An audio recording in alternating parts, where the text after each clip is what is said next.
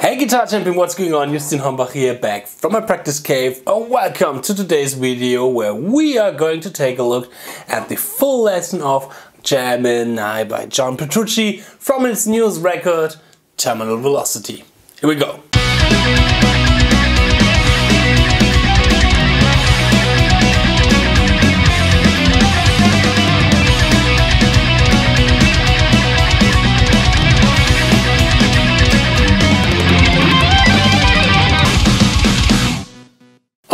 Gemini from Terminal Velocity. Well, there isn't much to say about this song other than it's pretty awesome song. I really like this one. It's actually a song he composed back in the 90s. Um, he played this song, or there are some video footage where he's playing the song, or parts of the song, uh, in 94 at NAMM uh, playing for Mesa Boogie. Um, so and yeah, he took this old idea, this old song, and add some new ideas and put it into this new kind of sound and his new kind of style, and to put it on his newest record, of course. And after the cover, of course, we are taking a look at the full lesson, note for note. And this this is the last lesson for my Petrucci month. So we're going to move on next month, October. I'm going to make a video about what's getting on in October for you pretty soon. I uh, can't wait for October. It will be a really, really interesting month. If you like the tabs for today's lesson, today's video, of course, you will find them in the description box. There is a download link where you can download them for free. Okay, but before we start, let's go to our shoutout section. This section where I'm going to take two recent comments, I'm going to answer them, going to respond to them. This is my way to say thank you to the community out there because without you guys, I wouldn't do those videos like this one here. So let's check out the comment section. Here we go. Okay, and the okay, and the first comment is from my uh, Altitudes cover by Jason Becker. And this one is from a really, really awesome guy called Jason Shell. And he was writing, absolutely amazing. I've been telling all my friends about your channel. How do you transpose all these songs by ear? Uh, it's question by ear. Do you train ear training away from the instrument? So first of all, thank you for spreading the word and thank you for sharing this content and this channel to your friends. It's a really, really great honor for me. And secondly, mm, now I'm not transposing all by ear. When uh, the John Petrucci single came along, the Terminal Velocity single, that one was transposed by ear because there weren't any tabs out there. Um, so I had to transpose them. Sometimes I transpose when it's when I want to be the first who made some YouTube covers, like for the Dream Theater, the John Petrucci, or the unprocessed stuff. But most of the time I do use tabs, um, and then I'm check them or do maybe correct them and do my own twists and turns on them, especially by the Jason uh, Richard, uh, not the Jason Richardson, the Jason Becker stuff, because there aren't any live footage or really really rare live footage out there uh, where you can see Jason's playing his music. Yeah, but I had a lot of ear training back in the day when I was studying jazz guitar in music college and music high school. Um, we had ear training as uh, as something that we should do every day and we had some tasks in there and um, even some exams in there. So yeah, yeah i did this more when i was in when i graduated my music degree my jazz degree but nowadays i'm not transcribing that that often anymore. All right so thank you but thank you anyways for that comment. Let's check out comment number two. And the next comment is from my gemini cover and it's from Ronnie Lopez, and he was writing or asking me why not the harmonic. I think you mean harmonic, um, and I'm not quite sure which harmonic do you mean. And um, I'm not really want to take out this comment, but I want to say something in general. Um, I'm really really happy about that. I'm not getting any kind of troll comments or hater comments. Um, on the one hand, this could mean that my content is good, but on the other hand, this could mean that I'm not famous because some people are saying you are only famous when you get um, when you get troll and hate comments. Um, but if you have a critique to my playing, which is totally fine, and I really accept that, and I love well-deserved critique. Um, this is my way how I can grow. Um, then please describe the critique a little bit more. I was actually searching for a comment uh, of a cover of mine where some, but I didn't find it, where somebody was uh, writing that I, am rushing and I'm lacking in all the emotions and the phrasing is not good and stuff like this. This is pretty fine if this is the way how you think about my videos. But please write me down where do I'm rushing? Or where is the phrasing a little bit off? Or what do you think where I should uh, improve? So I can improve. But only saying you are bad is not a way how somebody other how others can improve. And when I have critique on somebody else, I always perfectly describe him where to work on or where I think he should work on to make a little bit better. Because we all want to grow, we all want to improve, so why helping not why not helping each other? Alright? Okay, so much for the comment for the shout so much for the shout out section. Away with that stupid thing. Let's start with the lesson. Little disclaimer before the lesson. I had a lot of trouble sometimes with my focus on my camera, sometimes uh, the guitar is out of focus. I'm really sorry for that. Um, but there, there are only a few seconds, but when you think, ah, it's out of focus, don't skip that few seconds, it will be gone away. But, so, so far you know. Alright! Okay, first let me demonstrate you the intro of Gemini. Here we go.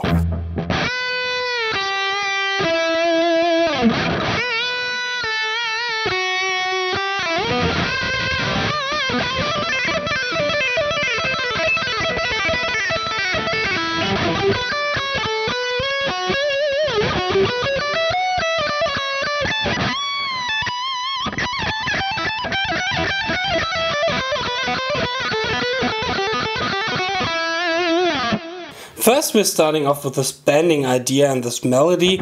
We're first bending from the 10th fret to the 12th fret on the B string, from the A to the B. Then resolving to the G, 8th fret on the B string, and going to the E, 9th fret on the G string. Next phrase goes like this.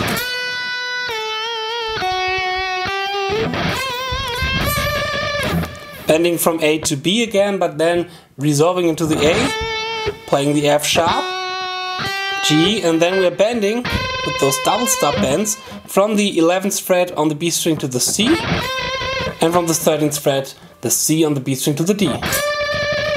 Now comes this pretty cool septuplet tapping idea, and there we're first starting off with the notes 7, 8 and 10 on the E string, which are the introduction of the tapping, uh, the B, the C and the D on the E string, and then we have this, I said it again, septuplet um, a tapping idea, which means we have seven notes in the time of one quarter note. So now comes a little bit tricky thing. I have to tap it this way because otherwise my focus will be disturbed too much. When I have it here, sometimes my focus go crazy and I have to make this tapping section, I have to record this tapping section now for the third time. So let me try it this way. We are slowly tapping one, two, three, four, five, six, seven. So we are first tapping into the 12th fret, then releasing, but we're not moving the left hand. We have one, two, three, four, and now we're doing the pull-offs. Five, six, going to the open E string, seven.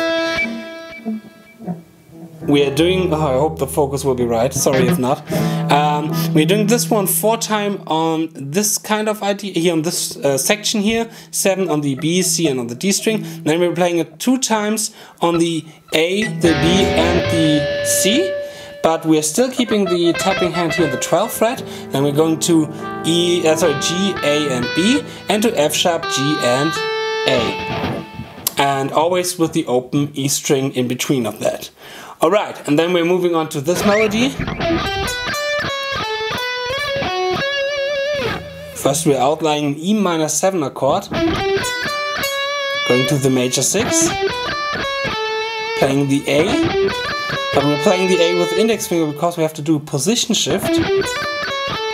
And we're playing with the ring finger, the 16th fret on the G string, playing the um, 16th fret on the D string, and the 18th fret on the G string. And before that, sorry, as we are sliding with our ring finger, that's the reason why we're using the ring finger, from the 16th fret to the 18th fret on the G string. Now comes this little scale idea. We're playing 16, 17 on the D string, 16, 18 on the G string, and 15, 17, and 19 on the B string. Then comes this descending and again ascending melody. We're doing the trilla between 15 and 17, 14, 17, and then we are playing. Sorry? Ah, I know we're not playing the 17th fret on the B string, we're playing the 17th fret on the E string. Sorry? Then we're going to 19, bending to 21, and resolving again to 19. Now comes this open string idea.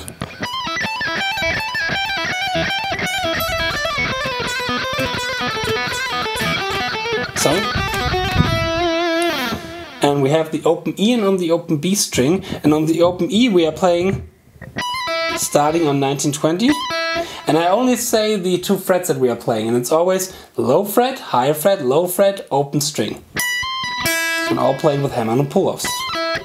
Then we're playing 1719, 1517, going back to 1719, 1517, 1415, then again ascending, 1517, 1415, 1214. Now we're going to the B string, playing um, 1517, 13, uh, 15, 12, 13, playing 13, 15, 12, 13, 10, 12, 12, 13, 10, 12, 8, 10, 10, 12, 8, 10, 7, 8, and resolving into the E on the G string, the ninth fret. And this is the complete intro of Gemini. And now we're going to the famous section of Gemini, the picking exercise, like I would say it, but it's also a pretty great a musical idea. So let's check out the next section. Okay, let me play you the main part, the main idea of this picking section slow. Here we go.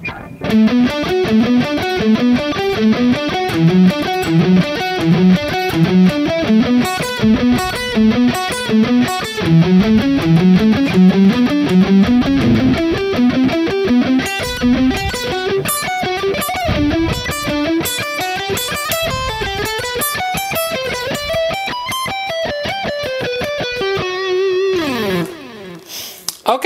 we have always two notes per string.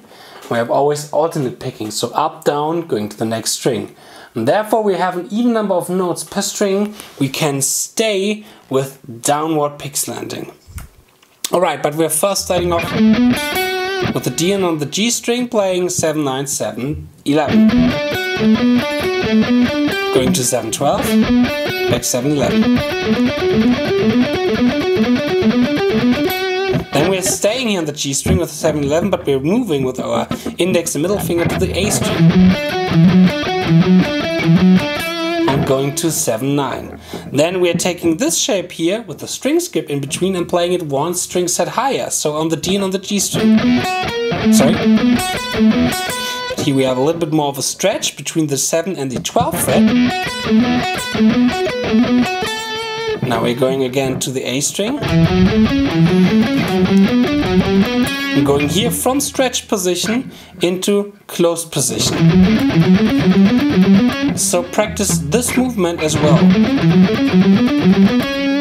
Then we're going to this one. Playing 7, 9, 10, 9, 12. A beautiful C major 7 chord. Playing the 8th fret on the B string and the 12th fret on the B string, still C major 7. Pretty cool shape. You can use this as well over C major 7. Then we're taking this shape here and transforming it to the G and to the E string, playing 11, 12, and 10 and 14 on the E string. And then we're outlining this E minor 7 here, playing 7, 9, 7, 10 on the E and on the G string, starting on the G string. Then we're playing those arpeggios diatonic. This kind of sequence, sorry, this note here. Ah! Getting a little bit lost here. So first up we're starting with a beautiful G major arpeggio starting on the 7th fret. And we're always playing 7 root, 3rd, 5th. Then we're going to the 5th of the next diatonic chord, which is A minor 7, playing fifth, uh, sorry, 5th, minor 3rd, root 7. In frets we have 7, 8, 7, 10, 12, 8, 10, 10 8, yes. Going to the next diatonic um, major uh, 7, oh, sorry, diatonic 7, minor 7 arpeggio, in this case B minor 7, but this time again starting on the 7th. Going to C major 7, starting on the 5th. And now we're jumping straight to E minor 7. So it's always this mixture between ascending and descending. Now the transition to the next part goes like this. I'm playing 20, 15, 17, 15, then 19, 15, 17, 16, then 19, 16, 17, 16. Now this is a pretty good section for your right hand coordination and your speed picking because the tempo is not that easy, it's pretty fast uh, for that because it's not uh, like speed picking in the shreddy kind of way, it's not like this. You need to be more precise by this kind of exercise and this kind of musical idea and therefore this is a pretty good exercise to be a little bit more precise or to work on your precision and especially on your endurance because all those stretches this can be really really tough especially in the beginning to keep this the strength uh, right at the correct level and to have the endurance to play through this, through, through this part. Okay, so now let's continue. Now we are modulating in a different key, in a different scale, but the shape stays the same. So everything that we have here, we're now transforming here. Starting not on the 7th fret with our index finger, but now starting on the 14th fret on our index finger. And the rest is the same. Just play it up here.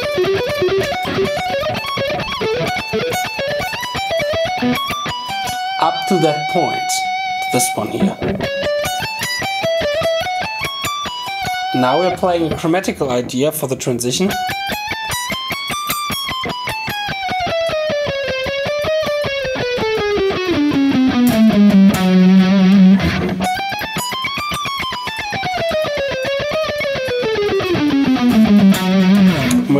We are first starting on the 19th fret, playing 19, 20, 21, 22, playing the same on the E string, but A ascending and descending. Descending. Then we're going starting on the 21st fret, going chromatic to the 18th fret. Now we're going with our index finger to a position shift to the 17th fret, playing again ascending. Position shift with our index, playing descending. Now on the G, uh, D string, the same frets, and now the octave. Here. Alright, are they correct? Let me check real quick, because sometimes uh, you can get a little bit, um, yeah, a little bit um, lost in between this chromatical madness here, especially when you want to play it uh, slow. So let me check this one real quickly. I was nearly correct, but everything one fret higher. We're starting on the 21st fret, not the 21st fret.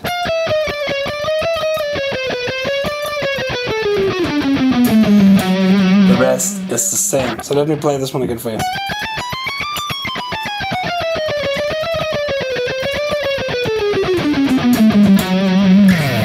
Yes, and then we have the last bit, uh, which leads us to the next part, and the last bit goes like this.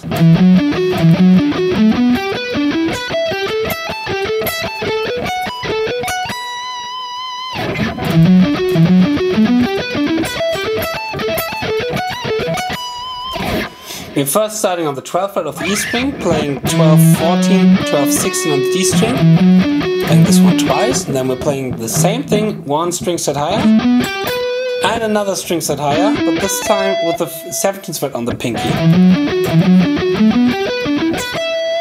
Now we're playing this one with the 17th fret on the pinky, one fret, uh, one string shape higher, uh, sorry, not one string shape, one string set higher, twice, and now we're moving this one up two frets.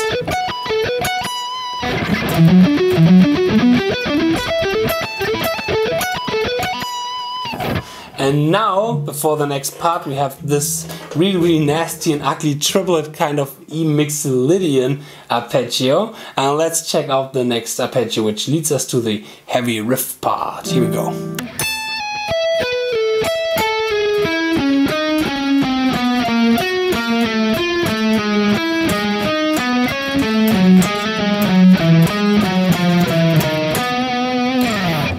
This is this nasty triplet E mixolydian, well, not really mixolydian, mixolydian is the wrong term here, but E major arpeggio kind of shape. We're first starting off with 17th fret going to the 14th fret, sorry, 17 going to the 16th fret, playing 17 on the B string and 16 on the G string, outlining this uh, E major arpeggio. Then we are sliding to the, uh, to the octave of our first note playing the E again on the high B string, sliding to the 13th fret, playing 14 on the D string and 16 on the um, A string. Now we are using a lot of chromatical movements in one phrase, playing for example this idea here. Now we are going chromatical to the 13th fret, playing uh, this idea here.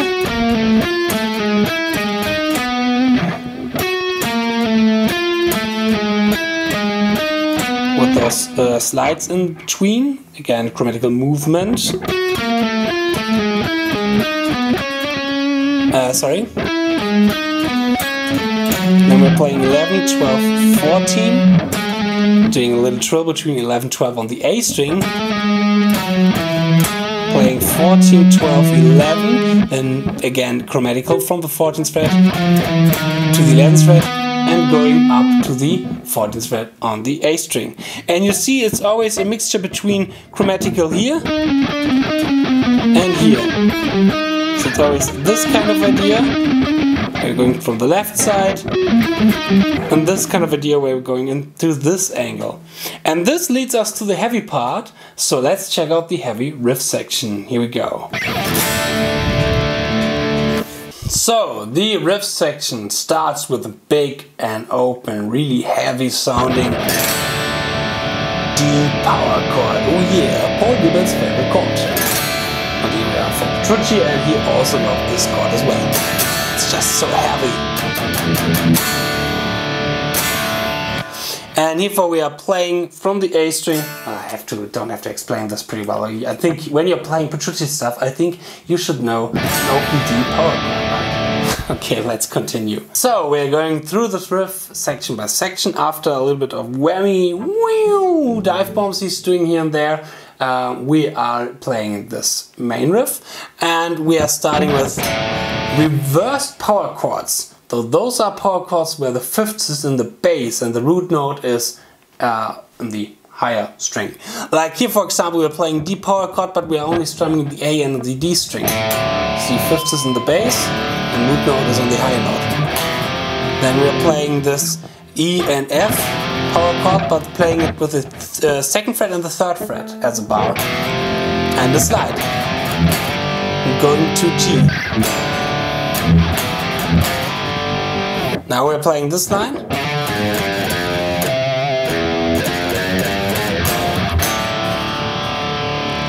And here for we're first sliding with our pinky in the fifth fret of the A string from the fourth fret. And we're playing with our ring finger 4, 3, 1. C on the A string with the ring finger again. And we're playing this chromatic idea. Which leads us sorry, it's about the one chord to the B flat power chord. No, uh, it's an E flat power chord. And again D. So this kind of movement here. Okay, let me play this one again.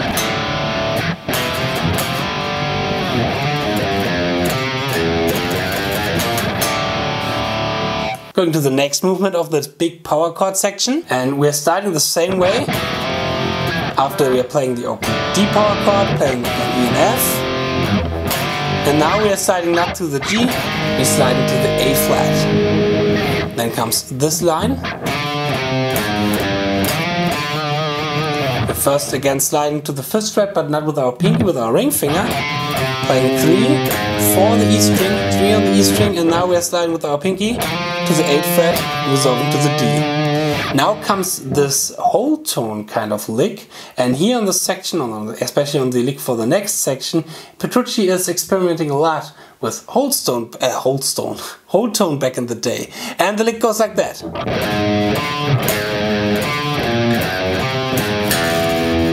really nice whole tone lick, which creates this really interesting color and tension in between of those kind of riff idea. So, and in frets we have 4 on the E string, then we're going to the A string 5, 6E, 2E, 3A, again 4 on the E string, but this time with our ring finger, and low E string.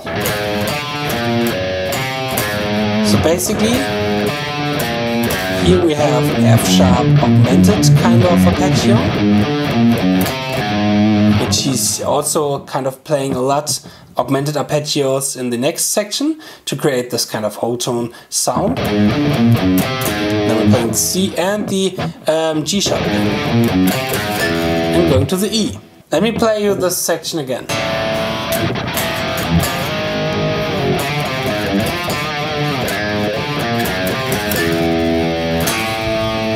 Going to the next sequence of this power chord section and it goes like this.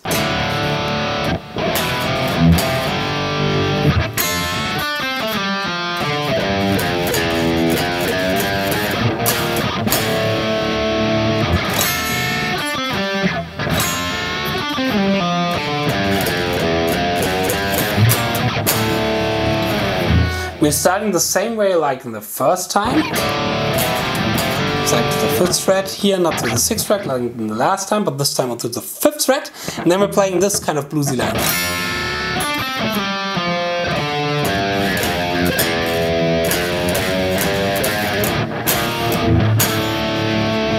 First we are bending the sixth fret on the B string to the seventh fret, but playing this time at the same time the fifth fret on the E string. We're playing 16 notes 7 5, sliding from the 6th fret to the 5th fret.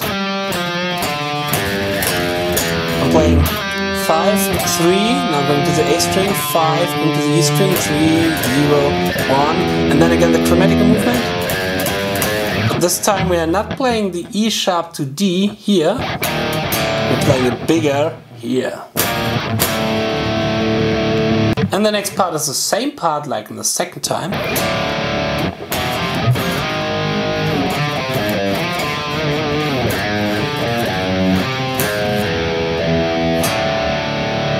Now comes this whole tone run.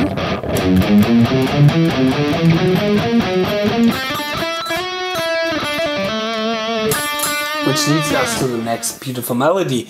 And this one is just basically the whole tone scale. So we have the same shape, but moved in different frets. First starting the second fret, playing 2, 5, 6, then on the A string 2 times 3, 5, 7, 3, 5, 7, then 2 times 5, 6, 8 on the D string, and then 1 time 5, 7, 9 on the G string. into the beautiful melody section. Here we go. Now, the beautiful part of the next section aren't the melody necessarily, or isn't the melody necessarily. It's more like the chord progression that we have here. And basically, we have two main chords D major 7 and B flat major 7. Now, I don't want to go into detail of which note we are playing. I want to talk here a little bit more about how Petrucci is thinking over those two chords because I think this is a little bit more interesting. The melody isn't that hard, you can play it from the tabs and with the ear, um, but I think uh, the concept behind it is really interesting. And there's a little story behind this uh, melody, which I'm, which I'm going to tell you right now. I have to be honest, I totally ripped off that melody once with my own prog metal band called Eos. And you can listen to that song on CD. You can listen to that song here on YouTube because we made a live EP where we also had the song. The song is called Anopheles Bite. A short story about it. It's a 12 minute instrumental epic song. It's really, really difficult to play. Um, and it's about a man who gets stung by an Anopheles and who gets through some fever dreams. And the dreams are getting worse and worse and worse. And the melody, which connect every dream, yeah, it's this one here.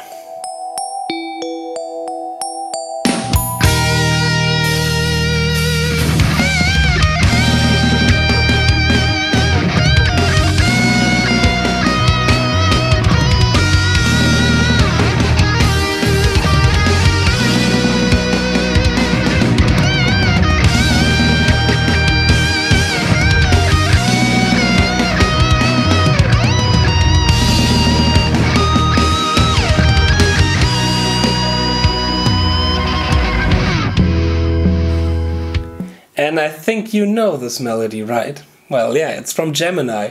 And back in the day, 10 years ago, I wrote that song around 10 years ago. I thought, this song will never be on the CD. This song will never be on a record. It's an old rare video from Petrucci playing that melody. That melody is beautiful as hell, but he will never release this song on CD. Yeah, well, we did now, 10 years later. So, yeah, I totally ripped off that melody by thinking nobody will notice. And now everyone who knows my prog metal band will notice who's uh, listening to that song. And there are actually some people who are writing me um, when they first heard the song Gemini on the new Petrucci record and saying, Well, Justin, there's a certain melody which kind of remembers me of something. Uh, haven't you played that melody in an awful spite? And I'm like, yeah, sorry, I totally ripped off that melody. so yeah, this is my little story, my background story about uh, the Gemini melody. Let's continue with that melody, which is a lot of fun. Continue with the lesson. Cheers.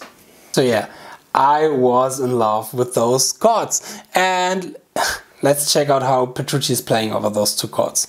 Well, the main problem here is those two chords, D major and B flat, B, D major and B flat major, aren't in the same scale. Um, B flat is the flat 6 uh, compared to D. It's from the D the flat 6. So, but we don't have a flat 6 in D major scale, we have a raised 6, a major 6. So we have to think in two scales in D major and in B flat major. And Petrucci is using some certain notes to combine those two chords and those two scales in this beautiful melody. What he's doing exactly, he's playing with one note which is a part, a half tone step, and this little half tone step connects both worlds, both magical sides, D major and B flat major. And I'm talking about the F sharp and the F. The F sharp in D is the major third.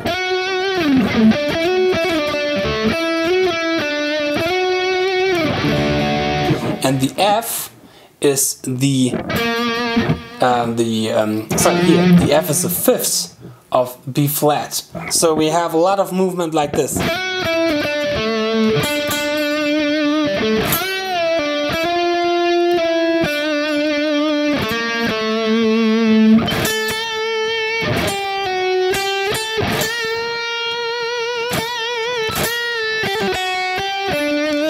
So he's thinking more on intervals, like playing with the major third of D major, going to the minor third of D minor, which is also in the same way the um, the fifth of B flat major. And I think this is a way how he could think over it because some certain players like Pat Martino or myself as well, I rather not think B flat major over that B flat chord. I think D minor. D minor is a parallel a minor scale from B flat major. And I would say the good thing here is when I have to improvise over both chords, it's easier for me to uh, navigate through the the whole big concept and universe of the fretboard by having in my mind one root note. Of course, what we are hearing is not D minor, but what I'm thinking and navigate through this map is D minor. And uh, yeah, with that, keeping one root note in my thinking uh, is a little bit easier for me. D major, D minor. D major, D minor, D major,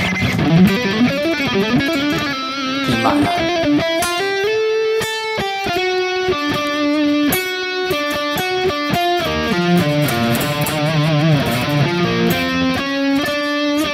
And so on. And I would say that Petrucci is maybe thinking the same way in this because you can see some movements and those movements are really important. Like for example, from the F sharp to the F. Or another big important movement is from going from the A, which is the fifth of D major, here the A, to one half step higher, B flat, which is a root of our B flat major. So when you have two chords and those two chords are from two different scales, which lying really, really far away compared to which kind of uh, sharps and flats they have uh, and where they are um, where their position are in the so-called quinten what's the English word for it? Quint fifths circle fifths? Circle fifths. Quintenzirkel in German. Um, And I mean, D major is, Edu is it's something around here at 1 o'clock or maybe 2 o'clock, and B flat major is here at, uh, at 10 o'clock. No? So, um, seeing those movements in half tone step can be really, really important to create beautiful melodies over those chords or over any chords which are apart in different scales or which are yeah which contains out of different scales. And Petrucci is using this one here as well and I think this concept is really really interesting. The melody isn't that hard but it sounds so beautiful because of that concept. All right so I can, I think you can check out the melody for yourself, but let's check out a few certain little ideas, which maybe we should talk about, okay? You see we have two times this kind of part and the first section that combines that part, the two bars where he's playing in B flat augmented sound or you can also call it F sharp augmented because the thing is augmented is a symmetrical chord and in all the inversions it has the same kind of interval structure. And there over that he's again playing a whole tone idea. And this one it's uh, in this case it's this one here.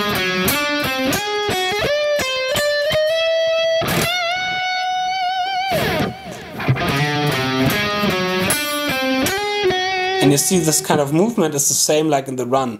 And this is the way how Petrucci is thinking in uh, whole tone scale, like this one finger shape scale where he is moving it up one fret. Well, you have to be careful between the G and the B string. There, of course, of course, it's two fret because of the tuning.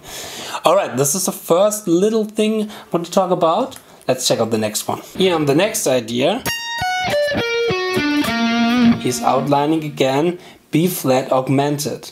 And another cool thing about B flat augmented is B flat augmented is also D augmented. So here we have a connection point where we can connect again those two kind of uh, chords which are from different scales into one sound. We can combine them in one sound and this is the augmented sound. And this is a pretty cool sweep shape. So you can, oh sorry, this and play it for your own when you want to have when you want to have a really cool augmented kind of sweep shape and sound. And it's also again pretty good exercise for our roll technique because we have to roll with our middle finger, which we don't use do that often.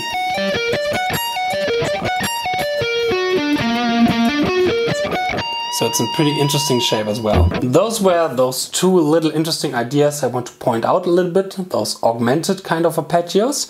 And the rest of the melody, as I said, is pretty easy. So use your ear and the tabs and you can learn it by yourself. I don't have to say too much about the phrasing and the bending stuff and so on. Um, yeah, but I want to talk a little bit more about the next section, this kind of open string section with a lot of energy and tension in it. And I love this section. So let's check out the next section. Here we go. Okay, let me play you this section slow.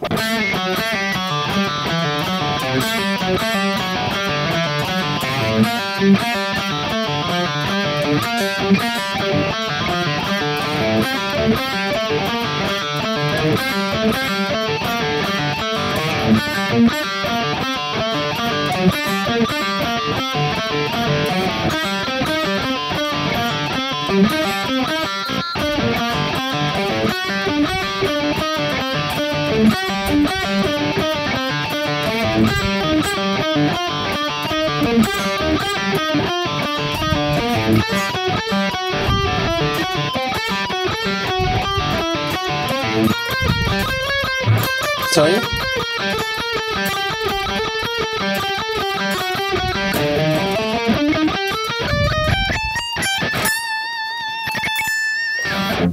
Okay, let me try to play this one up to tempo.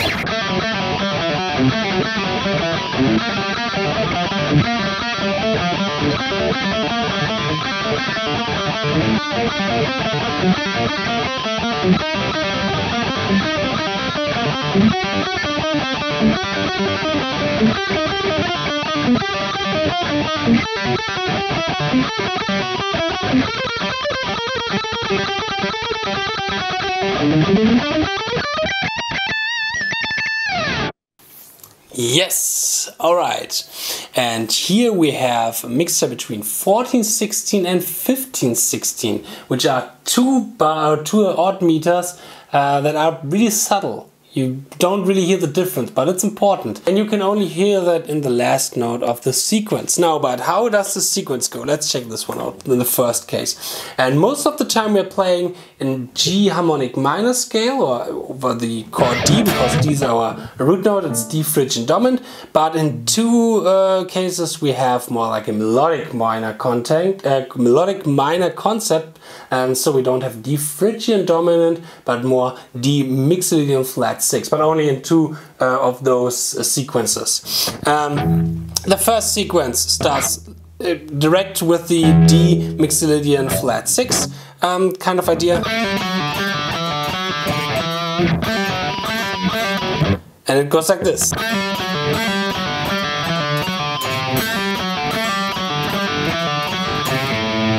And you see in the last note from the first bar I only played the C here and the second time I did the pull off to the open A string. Now let's check out this sequence so we can easily transfer it to the rest of the scale.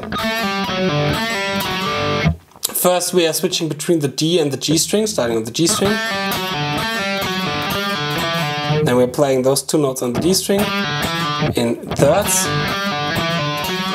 This and going then to the A string. So without all of the open strings, the melody actually goes like this.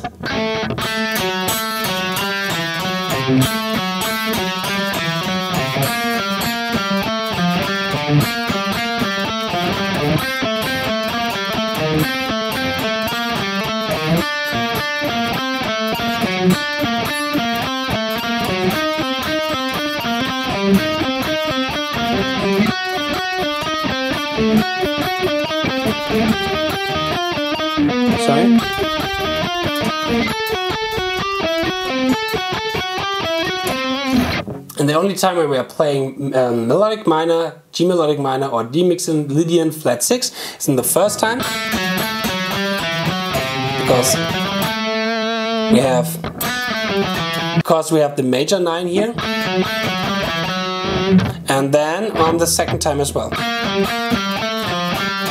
Here we go. Oh well, here it's actually a little bit more D minor. We don't have the major third here again, we have the minor third.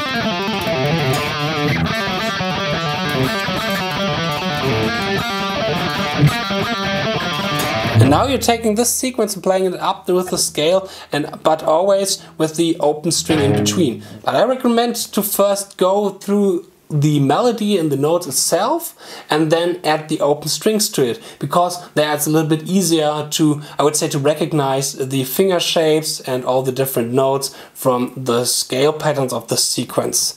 Alright, I love this lick and after that we're playing this one here.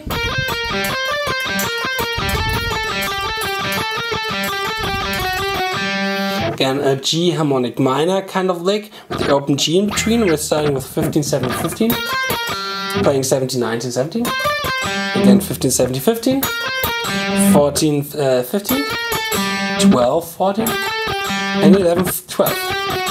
And then we're playing this D minor 9 or D with the um, Phrygian 9 and the minor 6 arpeggio. This is really exotic kind of uh, pentatonic idea, and it definitely has a name like. Uh, what's the, what is the hip name that everybody's calling this scale? I don't know. D uh, Hindu, D Hindu, Bami Goreng, uh, number 48 with sweet sour sauce scale. I don't know. It's this exotic Asian kind of scale and a lot of people are giving them fancy names but I think those fancy names are not necessarily for me it's pentatonic with the flat 9 and the flat uh, 6 and the 5th and the 11th this is how I see this kind of scale right here. But Petrucci is playing this one to go to the next solo or to the first solo section and the first solo is this samba solo and I really like this one. It's one of my favorite parts of the whole record so let's check out the first solo. Here we go. And the first part of the solo is actually a clean solo so let me change to my clean channel. real quick. And the chords beneath the solo, the first section, is E flat major, F major, and G minor. And those three chords are from the G minor scale. And right now when I'm thinking about it, G minor is the parallel minor scale of B flat major, not D minor, like I said a few minutes earlier over this beautiful section here. Little mistake from my side. G minor is the parallel minor scale, but but you can use this D minor, D major concept I've told you there again uh, as well. So it's not a problem. It's only a false thing I said to you. Fake news. Some fake news I told you. So um, let's check out the solo. We are first starting with this kind of rhythmical idea. And there we are. Here we are sliding, playing some 60 note triplets or even some 30 second notes in the beginning. And sliding from the 8th fret to the 7th fret on the G string, going from 7 5 to yeah from going from 7 to 5 on the G string going from 5 to 3 on the G string. And then we are playing this melody. And here we are starting on the G with our pinky playing G A B C sorry yeah C playing it uh, in descending again but here we have a position shift, so the fingering is a bit different when we're going back to the G. We are now playing with the ring finger. So we can play the 60 note triplet um, kind of idea with this finger shape. Sometimes it's tapped like this.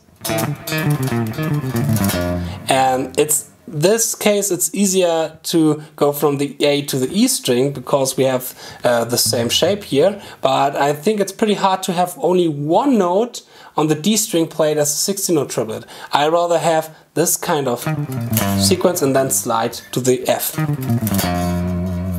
Oh, and then we are in the F major chord. And here the first phrase of the F major is this kind of phrase, which leads us again to the E flat major.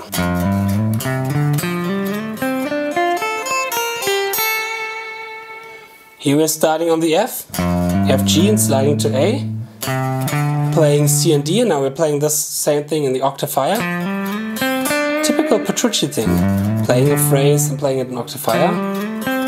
And now we're playing F, uh, A, C, going to the B flat, playing G on with our pinky on the 8th fret of the B string, and resolving to the A. So let me play it up to that point.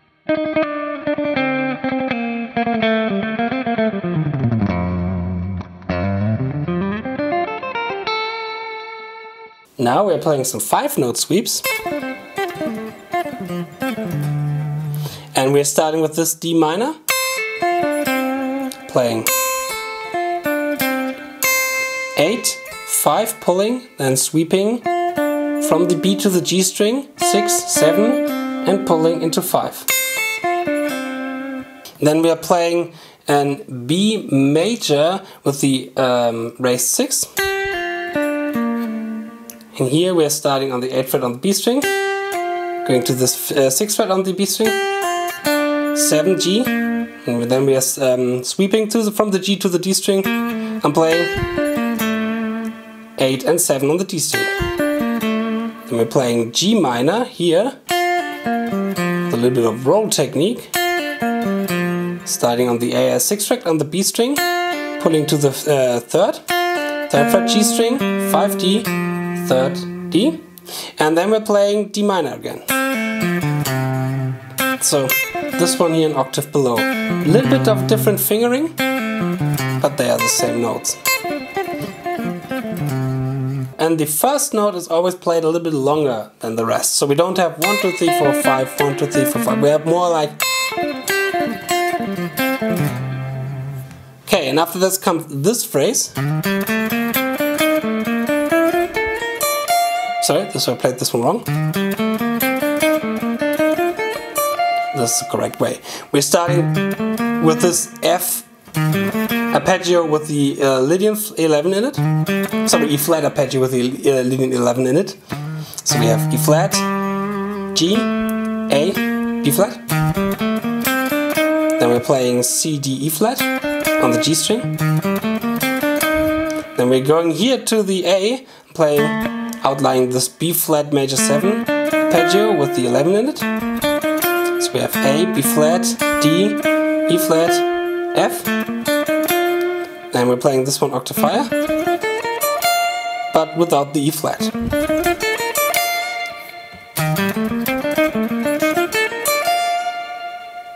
Now we have a really beautiful rhythmical idea, really beautiful melodic idea, and it goes like this.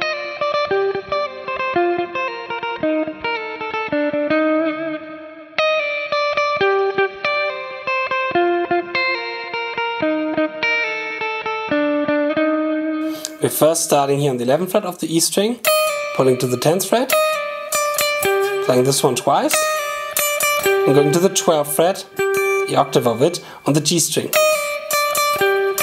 Now we are going with our ring finger to the 10th fret, and now we are keeping this sequence and playing it down the scale. So 10 8, 8 uh, 6, and 6 uh, 5.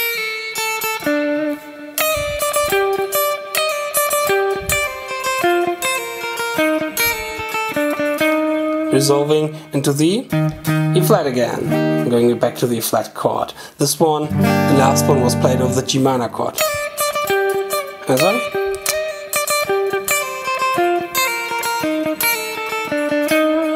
Now, over the next F, uh, E flat major chord, we're playing this idea.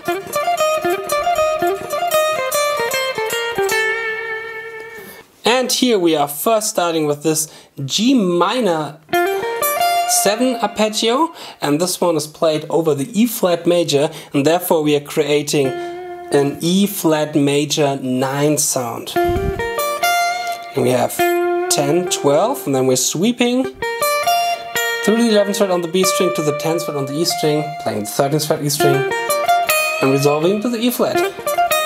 The second time he's not sweeping, he's only playing 10, 12 and then string skipping to 10, 13. Sorry? And then we're playing this melody.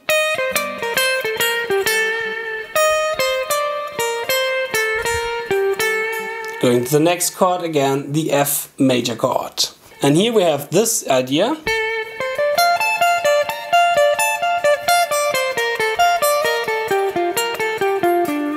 We're coming from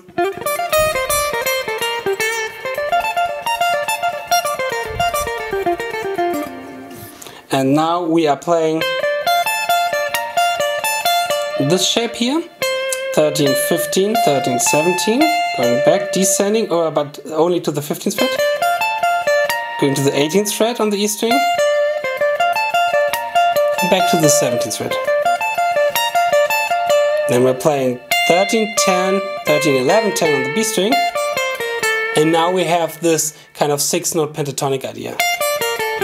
Uh, sorry, 1, 2, 3, 4, 5, 6, 1, 2, 3, 4, 5. Ah, 6 note and 5 note. 4, 5, 6, 1, 2, 3, 4, 5. Right, again.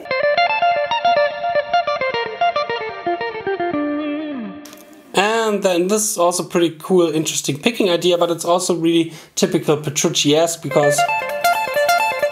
Ah, we know this. It's our typical Petrucci two note per string kind of major 7 arpeggio idea. Alright, going to the next phrase. We are playing the last phrase over the bar. So we're not stopping at the bar, at the end of the bar, we're playing over it, which is pretty cool. And now, and by over it, we, I mean we are resolving to the 10th fret, we're coming from resolving here on the 10th fret of the D string, and then we're playing this G minor 9 arpeggio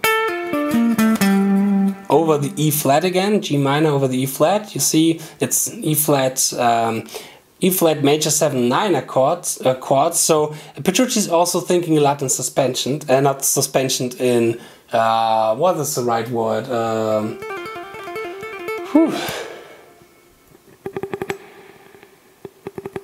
substitutions. So then we're playing the 12th fret on the G string, sliding to the 14th fret, going from 14th fret to the 15th fret, but with a different kind of fingering, so we can play the 13th fret on the B string.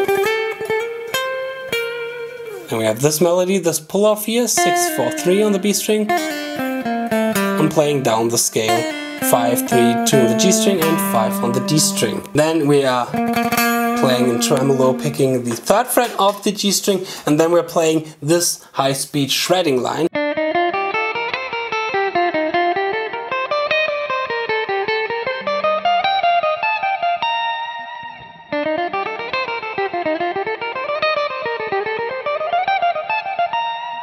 And here first we're starting with three five uh, three four six three five six on the B and on the G string uh, E string, and we are staying on the B and on the E string, and we can use one most of the time one pick slanting um, because we only have that first time here on the B string where we have an uneven number of notes per string. So we have upward pick slanting, and then we can stay with the upward pick slanting because after that we always have an even number of notes per string. So we're going through the scale and after we are playing 3, 5, 6 we're going to the next position and now we're playing descending. Now we're going again to the next position of the G minor scale, playing again ascending, next position descending, next position ascending, and now we're playing in descending shapes but we're staying on the E string and we're moving up the scale two times and resolving into the 17th fret. So we have ascending, descending, ascending, de uh, sorry, descending, ascending, descending, descending, resolving. And this was the clean solo of the samba solo of this bossa nova kind of thing. And now we are checking out the distorted solo, the lead solo, and I love this one as well, especially those beautiful sweeps at the end. So let's check out the next part. So now the electric solo. The electric solo starts with the bending from the 18th fret and, then comes this big shred line here.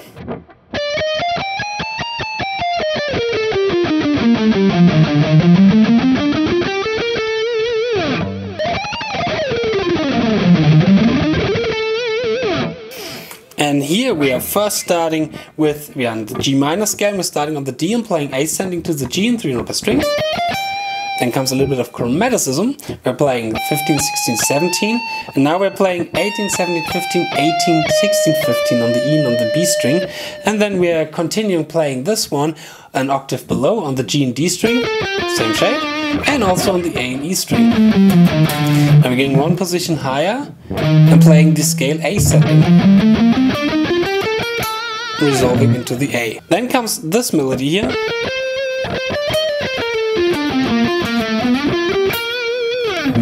And here first we are playing 14, 15, 17 and then we are playing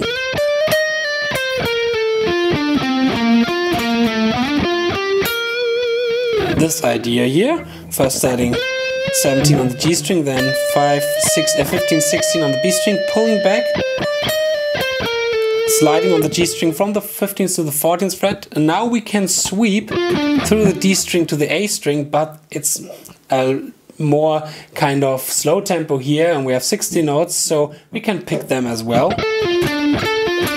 Then we are playing 15, 13, playing the 15th fret on the A string, sliding to 12 and then we are jumping from the 12th fret A string to the 17th fret A string and playing 17, 15, 17, 15. Now comes a really cool sweep section. Now comes some little sweeps, and first we are playing a G minor sweep, G minor 7 sweep. Uh, sorry, this one here, where we're starting on the 17th fret and playing. Oh no, it's not C uh, it's not G minor, sorry, it's C minor 7.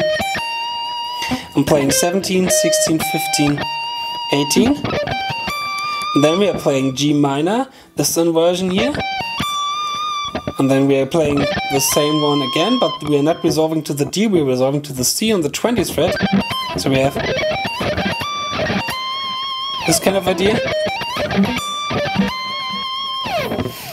And then we're playing again the C minor arpeggio and playing this kind of phrase 15, 17, 15 as the triller, then 18, 15 on the B string. Leads us to the next line, and the next line is a really cool bluesy line, which goes like this.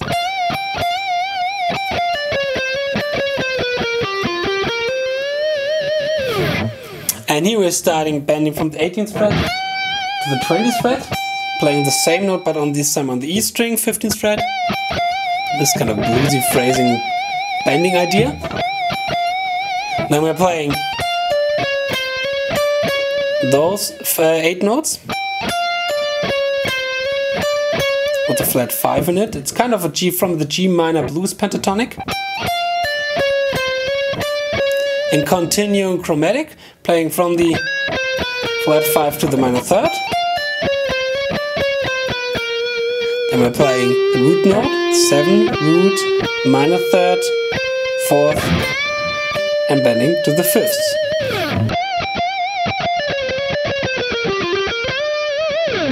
Which leads us to my favorite section of this lead solo, the sweeping section. Let me play those sweeps slow.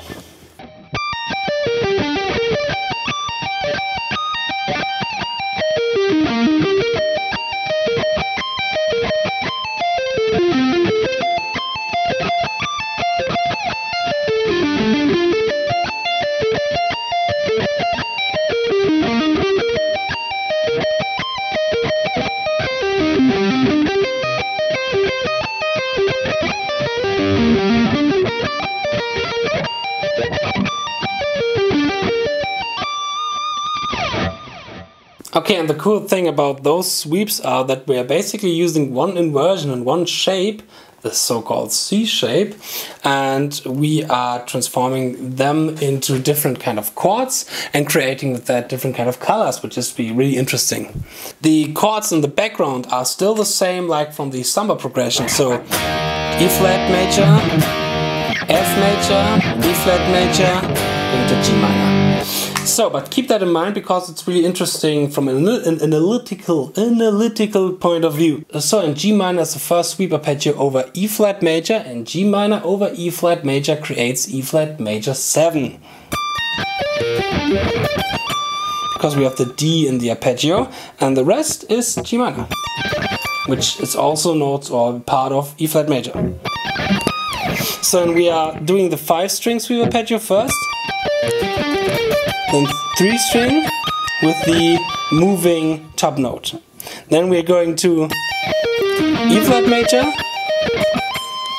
and then we are adding to the fifth the sixth here, the C. Uh, not the C, sorry. Oh, it's it's a C. Sorry, it's a C. Then we are playing F major because we are now also in the F major chord adding the 6 as well. Then we're going down to D, ma D minor. And D minor over F major creates F major 6, because the D is the sixth interval of F, and the rest is also an F major. Then we are going to E flat major, and we are again back in E flat major, so this is a pretty cool, interesting move from the um, melody kind of, or from the internal melody of those arpeggio because we are moving descending.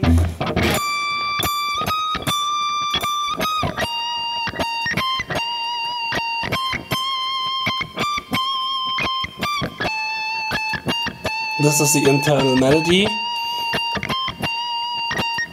And here we are now again in E flat major. And here again adding the 6. Now we are playing C minor and this creates E flat major 6. Uh, sorry. And then we're playing over the G minor, we're playing G minor. And this time it's the first time that we are playing a different inversion. We're playing the A shape now. If you aren't familiar with those 5 string sweep arpeggio shapes and the 3 string sweep arpeggio shapes, I highly recommend to you to check out my uh, the shredding beginning beginning shredder. The video was called beginning, beginning shredder. The beginning shredder video, the beginning shredder video where I teach the three string sweep arpeggios and the four and five string sweep arpeggio. Check them out here on YouTube. So G in the A shape, Again, first is five string sweep arpeggio. Then we are going to the next inversion. Three string sweep arpeggio and the last inversion, which is also the same arpeggio like in the beginning. Coming to the next section where we're outlining the chords in a pretty cool way. And the next section, the last section of the solo goes like this. And we're starting off again with the E flat major and playing this shape here.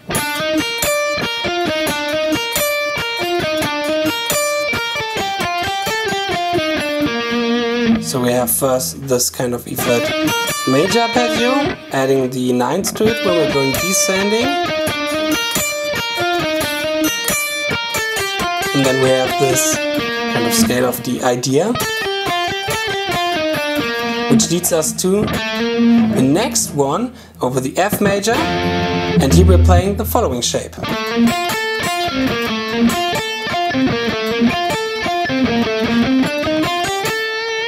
Now this is from the fingering, the same shape, but on a different string set. But therefore we are not changing the chord in different string set, we are changing the chord in whole tone higher. Um, we have a different approach from the intervals. Over the E flat major, we have major 7, root, fifths, major 7, and adding the nines here. Now over the F, we have minor third, uh, sorry, major third, fourth, the root, and the major third, and adding the fifths. Sorry. And having a scale idea descending, uh, ascending, not descending this time. Now for the second time E flat major Petrucci is playing.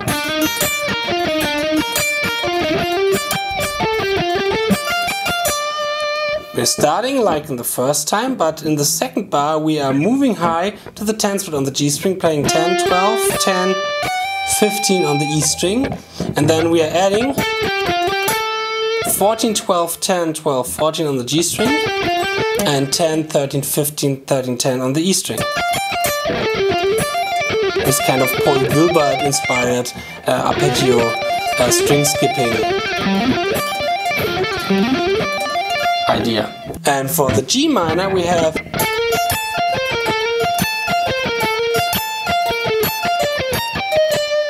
this idea.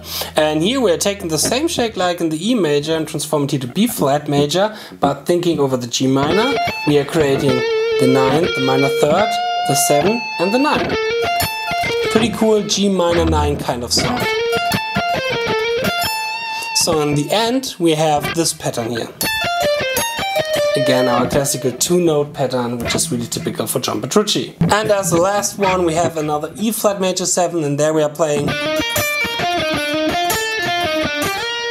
this idea. Going to the B string, resolving to the 11th fret, oh, I wanted to say elf again, 11th fret of the B string. And now we have the transition to our outro. First we have those big chords, really typical for John Petrucci. C, C sus2, B flat sus2, D flat sus2, and then going to, uh, sorry, those reverse power chords, playing G, A flat, G flat. Now comes this diabolic sounding arpeggio idea with the open string in it. And here we have we are fretting with our ring and our pinky the fourth fret on the A string and the fourth fret on the D string, with our index finger the second fret on the B string. And then we're playing A, D, G, D, B, G, D, G. really typical. And then we are moving the C sharp here to a C as well, this C sharp here on the second fret to a C. And then we are going to the outro, and the outro is actually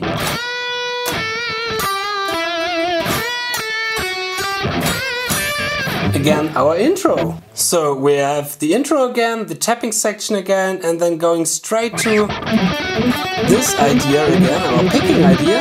And with that one, we are ending the song as well. And so we are finished with a complete lesson for Gemini. Alright!